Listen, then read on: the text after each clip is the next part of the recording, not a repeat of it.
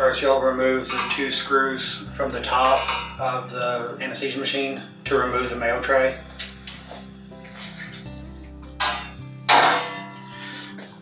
Next, you will remove the two screws from the bottom of the anesthesia machine.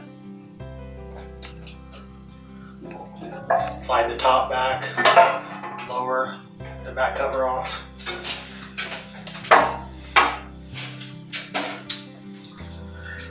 You will use a 10 millimeter socket or a combination wrench to remove these two bolts.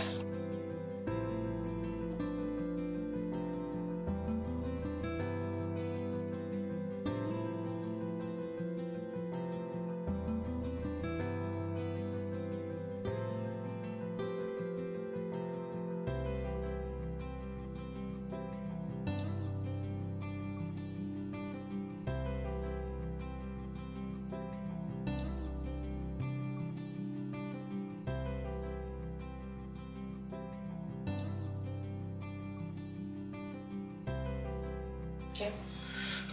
Once you've loosened the bolts, remove the vaporizer.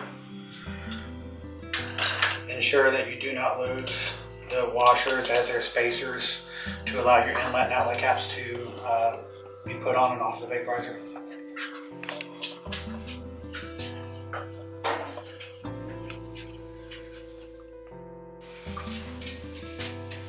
When you're ready to install the new vaporizer, just do the reverse process of taking it apart to install the vaporizer, put the back cover on, put the mail tray on, and put all the screws back in.